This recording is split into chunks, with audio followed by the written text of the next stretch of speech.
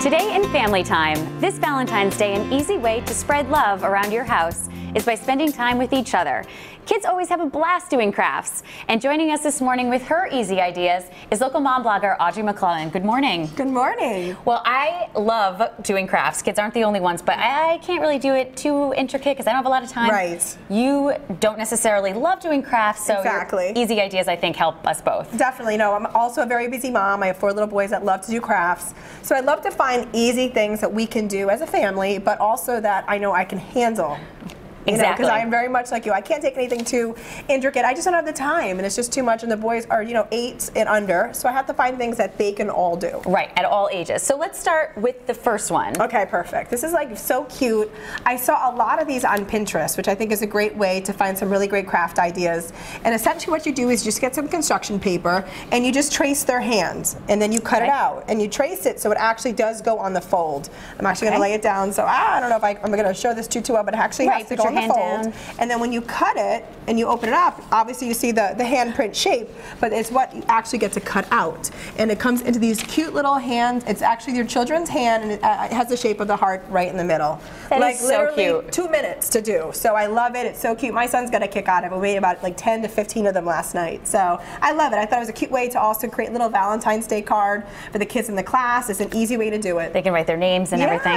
Now, what about this one? This looks very crafty. No, this is crafty. My kids, you know, they love to, to play with, you know, glitter and these little gems and pom poms. So as simple as it is, just cut a heart out, and I put, I give them each a glue stick, and they all just sit down, and they just will take whatever I have in the little bucket or bowl that I have on the table, Right. and they'll just really go to town. Like last night, you know, my son did "I love you." This is "Be mine," and I just let them put ah. stickers and pom poms and anything they want to put on it. They just create their own true crafty heart. Yeah, get creative with They it. really do whatever they want. Now, what about this one with the crayons? You know, I saw this on Pinterest and I loved it. And the point of this is, first of all, you just get a large sheet of paper. You can also use a piece of poster board.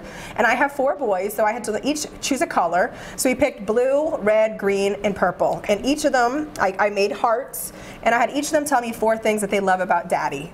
And so they all said different things from charges my iPad to packs my lunch to he walks me into CCD every Tuesday. So, and then what the point is, you take this and you can actually frame it. And I thought, what a great gift, you know, to also kind of know, like, listen, in 2013, these are the things that they love daddy for. So I just thought the stuff that came out of their, their mouths, you just, you know, you can't make up. It was priceless. I bet Dad really loved that. he did. He, he heard us making this last night. He didn't want to. He cut, he's like, "What are you guys doing?" Yeah. I'm like, "Go away, go away." so I just thought this is a really creative, fun way for for moms or dads to do this for you know each other for Valentine's Day. Sure, and take some of this construction paper and put it behind so you kind of have a, a Absolutely. border. Absolutely. And I see a lot of hand cutouts here. These are a lot of hands. These are all of the boys. This is again, I saw this on Pinterest. I can't get enough of like I guess the crafts on this, but this is so super easy to do. You just have each of your kids cut out their hands, and you just trace it and cut it out, and you actually can put it into the shape of a heart. So it actually is a the shape of a heart with all of their handprints. So you know, just like you know, just add them in. Here's my little Henry's hand. I can tell by how little it is. And You just add it in, and you can just we did obviously pink and reds, but you can do any colors you want.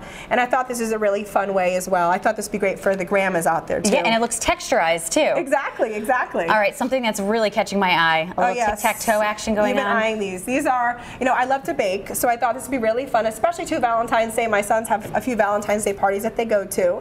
So, you know, the fun way to do it, create some cupcakes, but have some fun with some M&Ms or Red Hots and make XO. I did XOs for, you know, hug and a kiss, but anything you want on top just to kind of Yeah. bring that Valentine's Day feel and love into it. Thank They're you, delicious. Audrey. They're delicious. Now run. this looks really good. All right, thank you so much. This is this is a lot of fun and it's really easy. So for instructions to make these crafts at home, head to WPRI.com.